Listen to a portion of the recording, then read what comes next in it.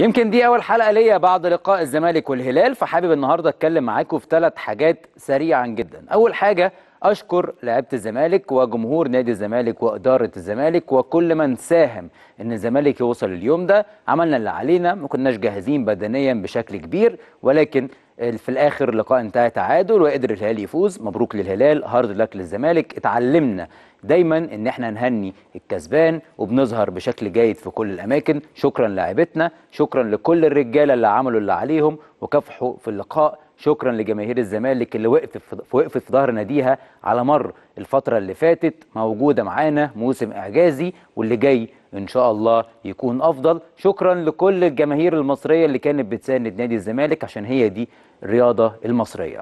الموضوع التاني اللي عايز أتكلم معاكم فيه التحدي. وده عنوان المرحلة اللي جاية. تحدي جديد.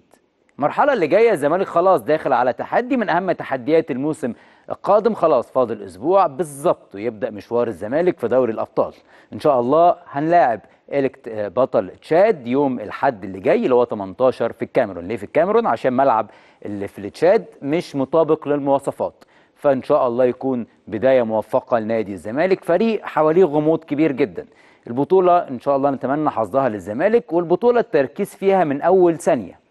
من أول ثانية الزمالك عايز يركز من أول ثانية الزمالك عايز يواصل عايز يكافح بشكل كبير عشان كده مستر فريرا رفض يدي راحة للاعبين نادي الزمالك. مستر فريرا قال لا يا جماعة مفيش راحة مفيش وقت عايزين نشتغل عندنا موسم قوي عايزين نخش بشكل قوي هو ده التحدي. هو ده الإصرار. وزي ما اتكلم شيكابالا وقال في المؤتمر اتعلمنا من فريرا إن بقى خلاص المكسب هو أهم حاجة والمكسب ماشي في دمنا وده أهم حاجة فريرا نقلها للاعبين. ثقافة ان أنا دايما لازم أكون كسبان.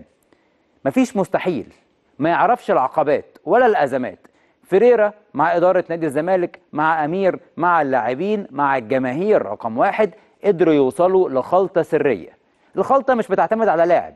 مش بتعتمد على أسلوب وطريقة لعب فقط بتعتمد على اللعب الجماعي على الروح الجماعية. إن شاء الله من بعد لقاء سوبر لوسيل فريرا هيشتغل بشكل كبير جدا. رفض أي راحة. قال ما عندناش وقت علشان نريح. بدنيا مش جاهزين عايزين نجهز. عندنا موسم قوي جدا جدا الفترة اللي جاية. لازم نركز في الموسم اللي جاي بأفضل شكل. تدريبات الزمالك هتبدأ الساعة 8 إن شاء الله بحضور كل اللاعبين. أكيد مستر فريرا هيركز أكتر على اللعيبة اللي هتكون موجودة في ماتش أفريقيا. زي ما حضراتكم عارفين طبعا ماتشات دور التمهيدي الذهاب والإياب مش هيشارك فيها الصفقات الجديدة. يعني مستر فريرا هيعتمد على القائمة اللي أخذ بيها بطولة الدوري. القائمة اللي فيها عناصر شابة كتير جدا. تابعناهم وتابعنا تألقهم مع نادي الزمالك على مدار الموسم اللي فات. وإن شاء الله الصفقات هيكون ليها دور كبير جدا من أول دور ال 32 بعد تخطي الدور التمهيدي. نادي الزمالك قادر؟ آه إن شاء الله قادر. ونقدر نعمل ماتش جيد بنتيجة جيدة. هناك أنا مش فارق معايا اللعب فارق معايا إن أنا أفوز وأحقق انتصار أول في البطولة. عايز أتكلم معاكم كمان برضو على ملف مهم جدا. ملف الزمالك بيتفوق فيه. ملف الزمالك بيلعبه صح. كلنا امبارح اتفاجئنا كلنا اتفاجئنا بخبر سعيد. خبر عودة محمد صبحي لبيته من جديد.